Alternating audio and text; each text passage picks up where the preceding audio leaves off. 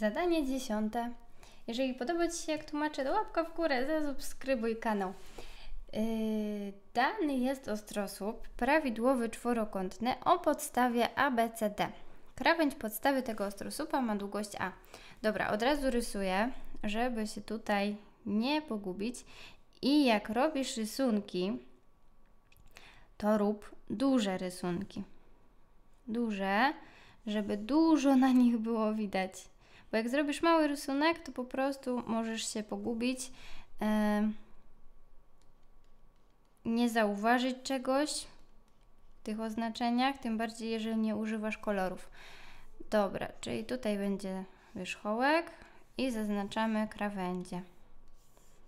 Hop. Ok. A, B, C. No i D tam z tyłu i S jako czubeczek. Mhm. Krawędź podstawy ma długość A. Ma długość A, czyli tak jakby to jest wiadoma. Wiemy, że, że jest A, czyli wszystko inne, wszystkie inne długości możemy uzależniać od A. To jest istotne. Dobra, tutaj jest A, tutaj jest A. Ściana boczna jest nachylona do płaszczyzny e, podstawy pod kątem o mierze alfa. Dobra, to od razu to rysuję wszystko. Ściana boczna, czyli tutaj muszę mieć jej wysokość. I powstaje mi tutaj trójkąt. Powstaje mi trójkąt prostokątny z wysokością. E, od razu możemy zaznaczyć, co tutaj jest. Tu jest A na 2, bo to jest połowa krawędzi. E, no, tutaj dajmy sobie jakiegoś X po prostu. Dobra, tu mamy alfę. Jest nachylona do podstawy, ściana boczna. Dobrze, dlaczego dałam x? Ponieważ zobacz, później będziemy używać kosinusa, czyli będziemy musieli operować na tych niewiadomych. E, tutaj, gdyby to było potrzebne, to zrobimy duże h jako wysokość ostrosupa. Dobra, czyli zapisuję od razu tę informację istotną, że kosinus alfy to jest pierwiastek z 10 na 10. Gdybyś nie pamiętał tych funkcji trygonometrycznych, to tutaj to wkleiłam z karty wzorów. Um, dobrze, cosinus alfa, pierwiastek 10 na 10. Przez krawędź BC podstawy, tą krawędź ostrosłupa, poprowadzono płaszczyznę pi prostokątną, prostopadłą, matko, prostopadłą do ściany bocznej SAD. SAD. SAD, czyli to jest ta ściana. Przez krawędź BC i prostopadła do tej ściany. Ok, no dobra. No to zaznaczymy tą płaszczyznę. Hop, tutaj gdzieś będzie szła, powiedzmy, no nie wiem, tu. No gdzieś ona tam będzie, dobrze. Nie wiem na jakiej wysokości, ale dobrze, to jest szkic. To jest płaszczyzna pi prostopadłą do ściany bocznej. Dobrze, czyli tutaj też nam się przyda wysokość ściany bocznej, ponieważ do niej mamy zrobić prostopadłą tą płaszczyznę. Ok, więc tutaj będzie takie coś i pomiędzy tym będzie kąt prosty, tak? Między tym a tym jest kąt prosty. Bo ma być płaszczyzna prostopadła do ściany. Dobra, sporządź rysunek tego ostrosłupa, no to w zasadzie już mamy. Zaznacz na rysunku przekrój wyznaczony przez płaszczyznę. Też mamy.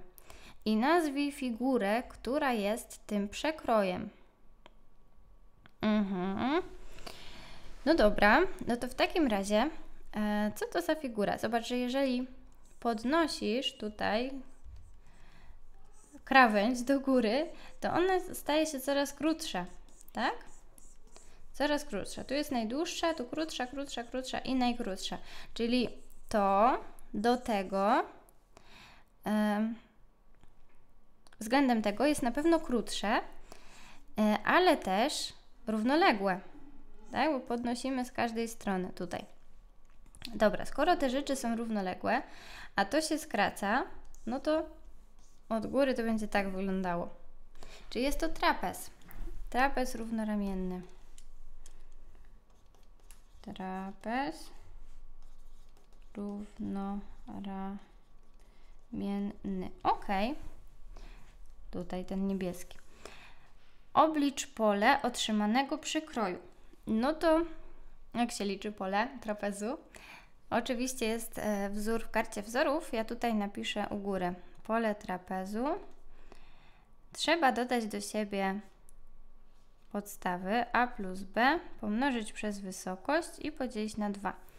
Dobra, czyli tutaj będzie wysokość h. Tutaj. Dobra, skoro mamy to policzyć, to musimy te wszystkie elementy znaleźć. A jest podane, nie bezpośrednio, ale powiedzieli, że jest, no dobra. E, B będzie tu i wysokość tu, czyli te elementy musimy znaleźć. Dobra. Um, w sumie, jeżeli potrzebujemy tutaj tej wysokości, to musimy utworzyć jakiś trójkąt, wykorzystać to, co mamy, tak? A mamy, e, no załóżmy tę długość A. Dobra. Mhm. Czyli tam, gdzie A występuje, to jest podstawa. Czyli zobacz, tutaj możemy utworzyć trójkąt. To ja tak zrobię. Będzie na żółto ten trójkąt. O. I razem z tą wysokością trapezu. Trochę krzywo to narysowałam. Ale to będzie tutaj schodziło, tak? Ta wysokość y, trapezu, czyli to będzie trójkąt. Nic tu się nie będzie przecinało. E, dobra. E, zobacz, że tutaj też jest kąt prosty. No skoro tutaj jest, to tu też, nie? I to jest też nachylenie ściany bocznej, czyli tutaj musi być alfa również. Tu musi być alfa. Tak, tu jest ściana nachylona i tutaj też, czyli o, mamy trójkąt ten czerwony równoramienny. Dobrze, czyli skoro tak jest, to możemy użyć do policzenia wysokości trapezu możemy użyć właśnie e, kosinusa. Kosinusa, sinus, kos... Nie, przepraszam. Sinusa musimy użyć. Tak? Tutaj będzie sinus z wykorzystaniem H i A. Dobra, to w takim razie potrzebuję kosinusa przerobić na sinusa i zrobię to za pomocą jedynki trygonometrycznej. Czyli podstawiam sobie e, sinus kwadrat alfa plus kosinus kwadrat alfa, już podstawiłam od razu, to jest 1. Czyli sinus kwadrat alfa to się równa 1, odjąć i tutaj będzie kwadrat, czyli 10 przez 100. Zera mi się skrócą, czyli Tutaj będę musiała pierwiastek zaraz zrobić, czyli sinus alfa to się równa pierwiastek z i tutaj mamy jako jedynkę 10 dziesiątych, odejmujemy 1, czyli jest 9 dziesiątych. Czyli to jest 3 przez pierwiastek z 10. Gdybym potrzebowała wyjąć niewymierność, no to mnożę przez pierwiastek z 10 na pierwiastek z 10. Mogę tak, ponieważ to jest 1, nie zmienia mi wartości liczbowej. I mam tak, 3 pierwiastki z 10 na 10. To jest sinus. Teraz w tym trójkącie żółtym, gdzie my mamy sinusa? To jest H do A. Czyli te 3 pierwiastki z 10 na 10 to jest H przez A. No i my chcemy H znaleźć, czyli wystarczy przemnożyć przez A. W takim razie H to będzie 3 pierwiastki z 10 a przez 10 i to podkreślę, bo to będzie nam potrzebne e, tutaj do ostatecznego liczenia pola, do ostatniego praktycznie kroku. E, no dobra, to potrzebujemy jeszcze podstaw trapezu, czyli w sumie A mamy, B jeszcze potrzebujemy, o tutaj. E, no i pytanie, jak to by znaleźć, no bo co? nie możemy do żadnego trójkąta stworzyć yy, z tymi rzeczami, które mamy. Dobra, narysuję może rzut ściany bocznej, żeby zobaczyć, jak to tam wygląda. I ta ściana boczna będzie trójkątem równoramiennym z wysokością, dobra, na czarno, z wysokością poprowadzoną tu. I ten odcinaczek trapezu jest gdzieś, gdzieś, gdzieś tu, gdzieś tutaj będzie. No dobra, no to tu będzie, przepraszam, B na 2, tu będzie A na 2, chwilka, łyczek wody, bo nie dam rady. Gardło siada. Się pracuje głosem cały dzień, to o, szczególnie w sezonie grzewczym, jak jest tak zimno za oknem. No, i trzeba grzać. Dobrze, czyli potrzebujemy tego tutaj. No i jak to zrobić, skoro nie mamy żadnych, żadnych liczb tu? Załóżmy, że to jest dane, tak? No bo tak powiedzieli na razie, że mamy się tym sugerować. No to zobacz, że tu powstają dwa trójkąty, które będą podobne. Czemu? No bo tu jest kąt prosty, a to jest równoległe. Czyli tu też jest kąt prosty. Poza tym ten kąt jest wspólny. Czyli mamy kąt prosty, jeden już zielony kąt wspólny i jeszcze na czerwono ten kąt też jest wspólny. Znaczy wspólny, no jest y, przesunięty, tak? Dobra, czy jest taki jak ten, czyli trójkąty, może ja je tu zaznaczę. Ten niech będzie sobie zielony, a ten większy zrobimy czerwony. Te trójkąty są podobne. Można by to było jakieś oznaczenia wpisać, tak? Że to jest e, D, A, S. No i napisać, że trójkąt. No i tutaj jeszcze coś by się przydało, i tutaj jeszcze coś by się przydało, więc ja po prostu zaznaczę kolorkami, że trójkąt ten zielony jest podobny do trójkąta czerwonego. I tyle. No dobrze, no to jeżeli chcemy znaleźć to, to potrzebujemy proporcje ułożyć, tak? Z wykorzystaniem tego i tego. No dobrze, no to tak zróbmy, czyli um, b przez a, b przez a, e, przez 2, przepraszam, przez 2 do, teraz z czerwonego biorę tą dolną krawędź, a przez 2 ma się mieć tak samo jak no i co? Potrzebujemy jakiejś długości. Zaznaczyliśmy sobie tutaj x, to możemy go wykorzystać w sumie, to, bo to jest wysokość ściany bocznej, to niech to będzie x. Um, czyli tutaj na dole będzie ten x jako cała ściana, a u góry a u góry musimy jeszcze jakąś literkę niestety dać. Dobrze, no to zróbmy tak. E, tu na dole był taki trójkąt żółty, z niego korzystaliśmy do policzenia wysokości, więc wpiszmy tu sobie literkę D. Niech będzie D. I ta literka D jest właśnie o tutaj, prawda? Bo to jest wysokość ściany bocznej, czyli jest tu. No ten trójkąt żółty by szedł tam, tak? Dobra, wykorzystajmy to. Tak zrobiłam, żeby później tą literkę D jakoś wyliczyć, nie? E, nie chcę żadnych nowych zmiennych, dobra. Nową będzie D, no nieważne. E, czyli tak, czyli ten element o tu, który muszę wpisać u góry, to jest x minus d. Prawda? E, specjalnie tutaj na dole wzięłam D, ponieważ tutaj u góry no nie bardzo dałoby się wyliczyć e, tę długość, tak? Bo nie mamy ani wysokości ostrosłupa, ani tej, tej długości, nic. A tu już mamy trójkąt. Dobra, no to liczymy. Musimy pozastępować e, zastąpić musimy d czymś i musimy x zastąpić czymś.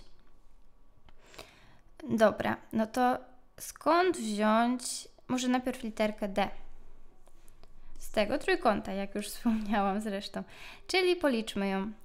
Ta literka D będzie liczona przy pomocy, tutaj byłby sinus, kosinusa, tak, żeby uzależnić ją od A, czyli wszystko uzależniamy od A. Kosinus, już wpisuję, kosinus alfy to będzie D przez A. D przez A. I to jest równe, znamy to, to jest pierwiastek z 10 na 10, czyli jesteśmy w stanie d wyznaczyć po prostu mnożąc przez a. No, czyli d to się równa, ale napisałam góry, o.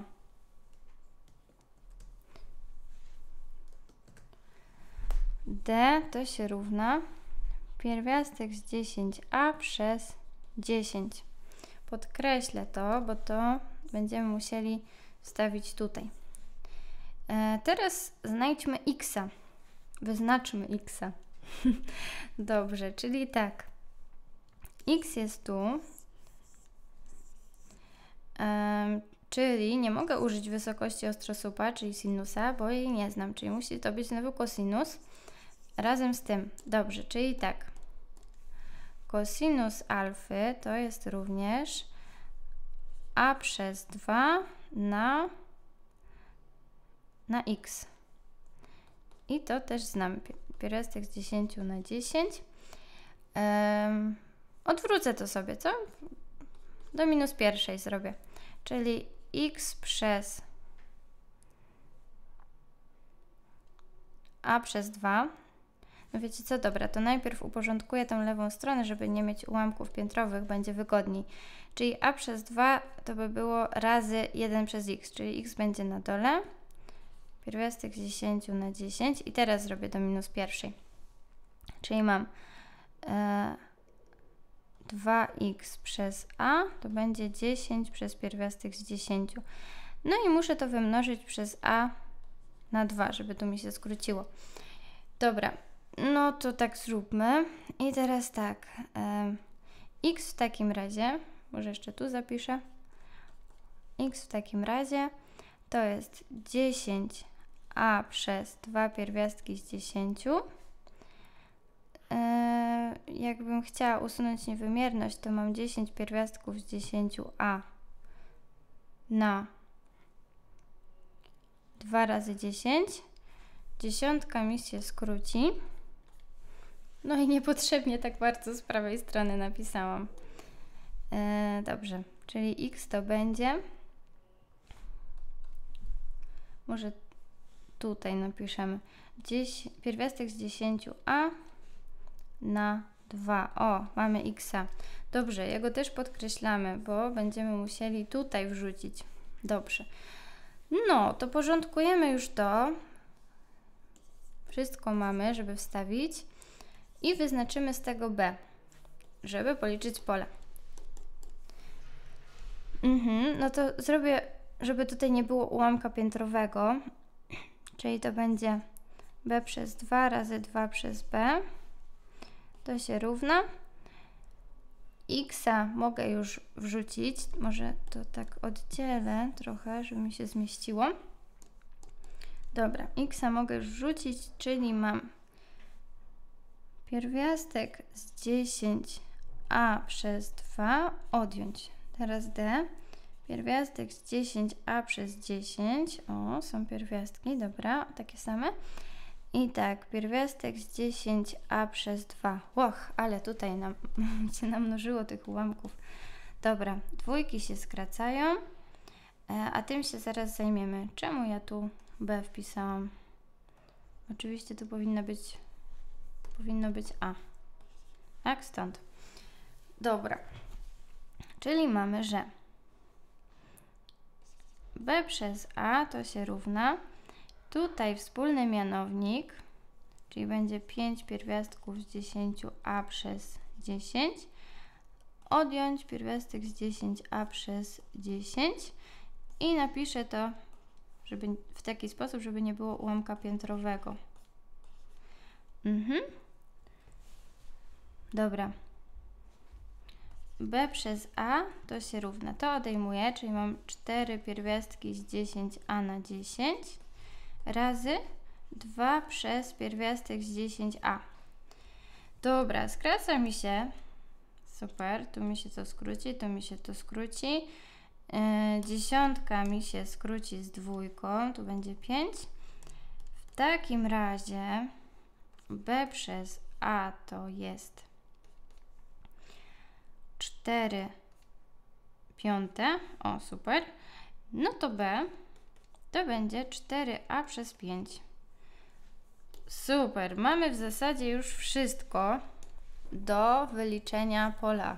Uff, nareszcie. Ok, no to liczymy pole. Pole tego trapezu. Wstawiamy A. Gdzie mamy A? Eee, no, tutaj jest A po prostu. Dodamy B, czyli B jest tu, 4A przez 5 i razy wysokość trapezu, a wysokość jest tu. 3 pierwiastki z 10 a na 10 no i przez 2 dobra. Tu jak połączymy to będzie tak. 5 piątych, czyli 5a piątych, czyli będzie 9 e, a przez 5 razy 3 pierwiastki z 10a przez 10 no i to dzielenie przez 2 zrobię razy jedną drugą.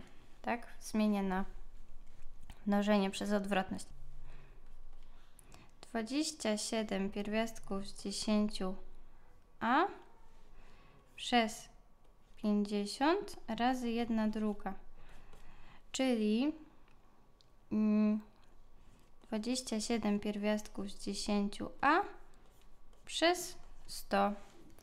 No, liczba A jest znana, bo tak nam powiedzieli, czyli mamy wynik.